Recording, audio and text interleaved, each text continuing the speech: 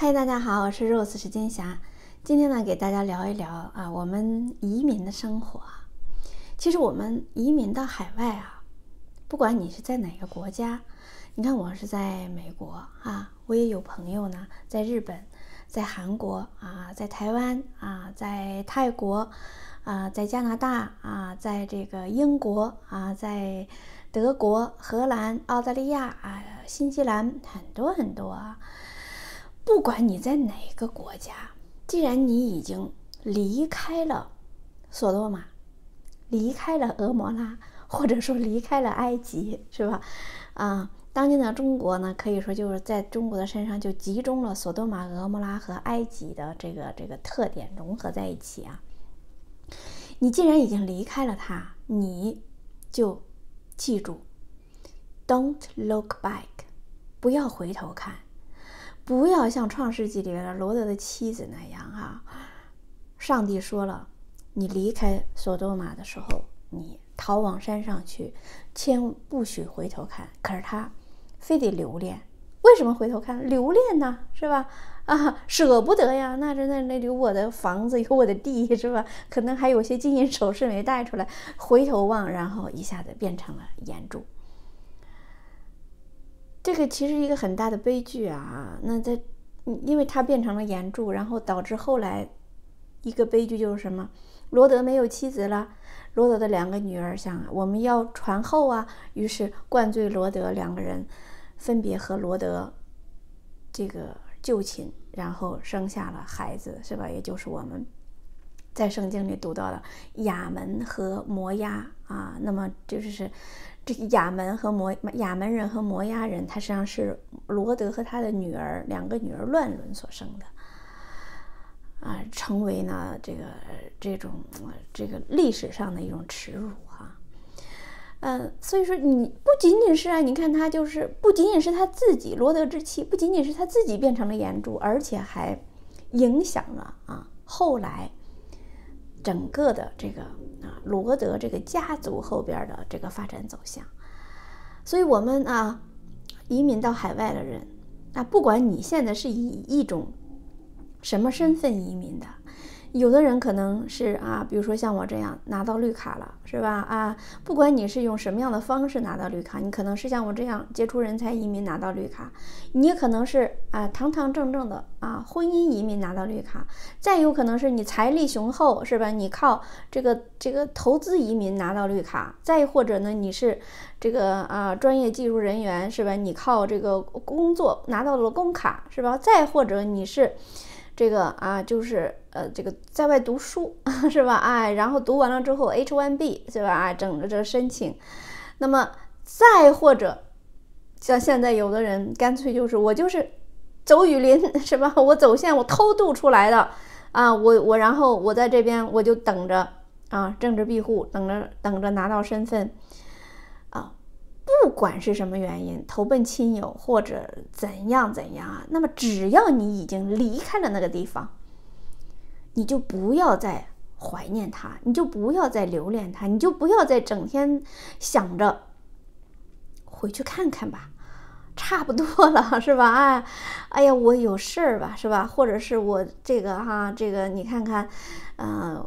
啊，一切安定是吧？再有呢，你抱着一种侥幸心理，说，哎，干嘛呢？我回去的时候就就发生点什么事儿呢？是吧？哎，我就不不用那样，我我速去速回啊，回去啊，一家人吃吃饭，聊聊天，抱头痛哭是吧？然后呢，我再我再平安归来不就行了吗？这件事儿是这样啊，我们要有最坏的打算，做任何事情你都要有最坏的打算。那最坏的打算就是你要想啊，你回去之后最坏的打算可能就是你出不来了。对不对啊？那你能不能承承受这个再也出不来了这个打算？哎，我看到还有的人啊，就是九死一生啊，偷渡出来啊，从南美走雨林是吧？经历了这个千难万险，结果出来之后，过了一段时间，说我受不了，哎，然后买了张机票回去了。哎呀，回去之后又后悔了，发现啊，我。没想到啊，没想到是吧？国内的情况越来越差，呃，真的，我发现我太冲动了，我回来了，我可是我想回去，啊，我想再去怎么办？他说我还要再想办法啊，我我我再偷渡出去。你说你早知如此，何必当初啊？忍一忍是吧？在外有人，中国人就有这么一句话，叫什么？说说什么呢？说在家千日好是吧？哎，出门一日难啊。所以为什么你会有这种想法？是因为你没有把你所在的这个地方当做你安身立命的家，你仍然把你自己当成一个过客，甚至有很多人啊，他没出国之前呢，他。他满肚子的意见是吧？哎，觉得不自由啊，不自由勿宁死啊，觉得这个不不平等啊，觉得自由民主啊比生命都重要是吧？生命诚可贵是吧？爱情价更高，若为自由故，我二者皆可抛。哎呀，滔滔的这个这个壮志在我胸，然后不管什么方式，什么什么努力出来了，出来了之后发现，他就忘了，是吧？自由重于一切了，他觉得什么呢？面包高于一切啊！他觉得安逸高于一切，他觉得啊，这个汗流满面啊才能糊口这样的生活，我我受不了。也就是说，很多人呢，他的确是有这样的一种想法：我到别的国家去，我我移民出去，我的目的是什么？我的目的是我换一个地方，然后我挣大钱，是吧？然后呢，我这个呃。真的实现我人上人的啊这个目标，就是比我那些留在国内的那些人不肯出来的人，我要比他们过得好，堂堂正正。然后我可以在他们面前朋友圈里我可以晒，是吧？吹牛逼，是吧？哎，然后表示你看，羡慕我吧，嫉妒我吧，我现在是吧？是这个高你一等的，是吧？那个什么美国人了，我日本人了，我过的小日子过得很拉风。可是结果出来了之后，发现呢不像他们想象的那么容易，是吧？扔到人堆里没人认识，语言也不通，是吧？干什么？哎呀，这这这个，呃，吃苦受累的事儿，发现了哇，没日没夜的干啊，然后呢，挣点钱还要付小费，是吧？哎，然后干点啥？然后想吃点儿啊，想吃想吃个外卖，一叫发现哇，外卖这么贵。然后还要付小费，是吧？哎，然后呢，说出去不想那个啊，这个挤公交了，不想坐地铁了，是吧？不也啊，然后也还没买到车呢，是吧？然后呢，说发现打个车，我的天呐，是吧？怎么这么贵？各种方面发现，哎呀，还是国内好。哎呀，国内打车多便宜呀，国内叫个外卖，是吧？晚一晚一秒钟，我都跟他没完，是吧？哎，国外的叫个外卖，美国的吧，等一个小时我还得给他付小费，是吧？哎呀，这个这还是还是要到国内才能真正的享受我本来的中产阶级的生活，才能够我才活得像个人一样。实际上，你怀念的只是猪圈而已，实际上你只是怀念埃及的肉汤而已，你并不是真正的怀念。像人一样，什么叫像人一样的生活？像人一样生活，你就应该是要自食其力，你就应该是换一个地方，把那个地方当做你的家园，然后你脚踏实地，你的根深深的扎在泥土里，然后你日有所进，然后呢，你啊一寸一寸的生长，然后你一天一天的在新的国家、新的土地上。去生根，去发芽，去开花，去开枝散叶，去开花结果。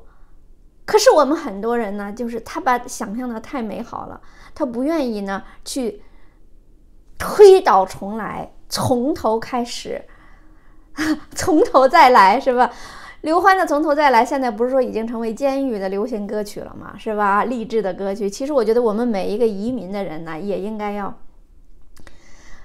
重温一下这首歌哈，我们要从头再来，真的要有这种从头再来的这种这种毅力、这种精神，要吃苦，而且要记住，你吃得苦中苦，不是为了成为人上人，你是为了成为人，享受真正的言论自由。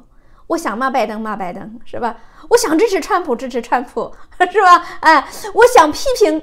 CCP 我就批评 CCP 是吧？哎，我想发表我的政论是吧？我想做什么我就可以去，只要不违反法律，是吧？那在法律面前，人人平等，人人平等，你知道吗？这固然国外也不是天堂，每个国家都有每个国家的问题，但是这里边五十步和一百步是有区别的，对不对？